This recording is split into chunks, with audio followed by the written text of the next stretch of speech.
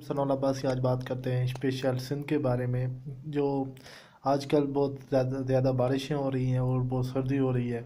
और गर्मियों के दौरान जो गर्मी भी बहुत ज़्यादा होती है हीट स्ट्रोक भी होता है।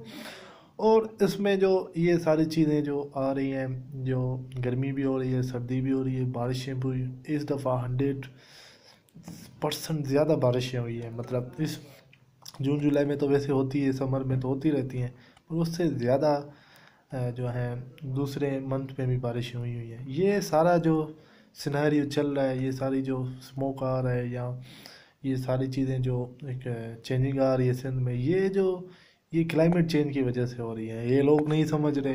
गवर्नमेंट इस चीज़ को एनालाइज नहीं कर रही गवर्नमेंट इसको सीरियस नहीं ले ले रही। ना गवर्नमेंट प्लानिंग बना रही ना मैनेजमेंट का सिस्टम है, ना और कोई सिस्टम गवर्नमेंट इसको सीरियस ही नहीं ले रही।